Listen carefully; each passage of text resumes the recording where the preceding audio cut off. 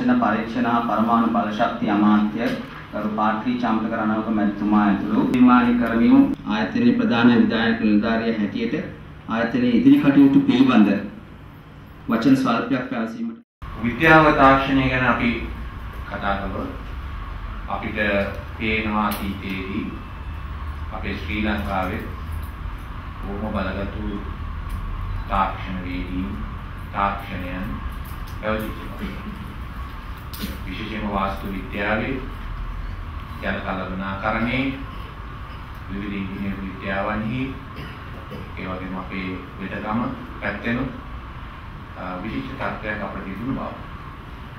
නමුත් ඒ දැනුම කවරක්ද කියලා අපි කවුරුවත් හරි හැටියට දන්නේ නැහැ. එම නිසා ඒ දැනුම කුමක්ද කියන ගැන අපිට තාමත් සොයාගන්න යුතු තිබෙන දෙයක්.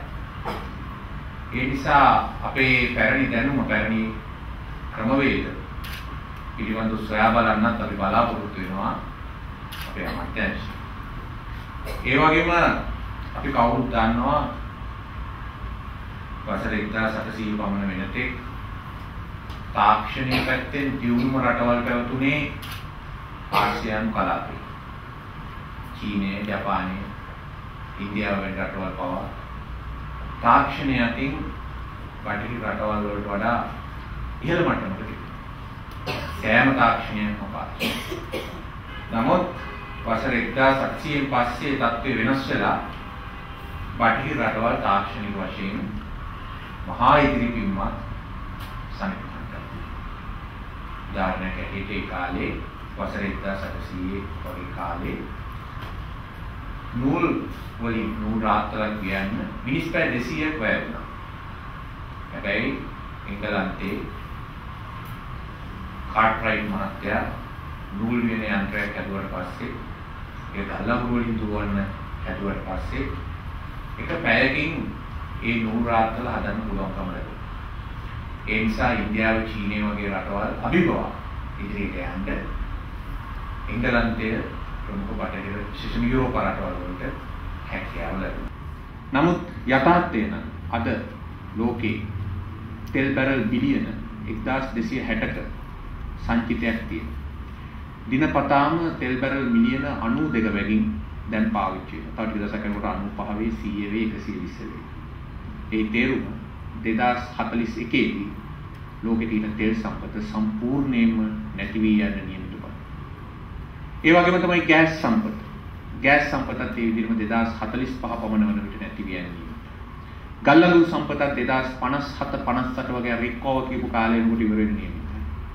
ඒ වගේම ඊතරම් කාලයක් අපිට බලන් ඉන්න වෙන්නේ කිකුත් නැහැ. මොකද තෙල් ගල්ලඟු ගෑස් දහනය නිසා ඇතිවලා තියෙන පරිසර ප්‍රශ්න අපිට හතර පේනවා.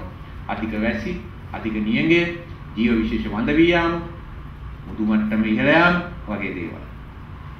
අතරම ආර්ක්ටික් ද්‍රවය දැන් දිය වී යමින් තියෙනවා. ආර්ක්ටික් ද්‍රවය සම්පූර්ණයෙන් දිය වුණොත් පෘථුවියේ ජල මට්ටම මීටර 8කින් අඩි 24කින් ඉහළ යන්නේ.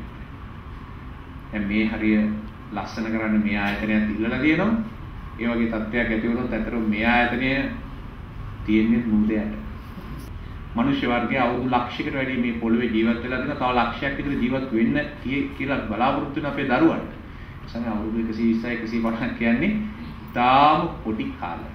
ඒ නිසා අපි අපේ ශක්තිය අපේ ස්ව ශක්තිය න්‍යායතනයේ ශක්තිය නැගිටින්න වැඩපිළිවෙලක් හදලා ක්‍රියාත්මක කරමු කියලා ඔබ හැමෝටම යෝජනා කරන්න ඒ නිසා අපි යම් යම් උත්සාහයන් දරමු එක්ක කටයුතු කරමු කියලා ඔබ හැමෝගෙම මම ඉල්ලා හිටිනවා ඕනම දෙයක් අපි අදිෂ්ඨානයේ තියෙනවා නම් ඉදිරියට ගෙනියන්න පුළුවන්. එහෙම නැත්නම් ඒ අවශ්‍ය කරන ශක්තිය අපි ලබා දෙනවා.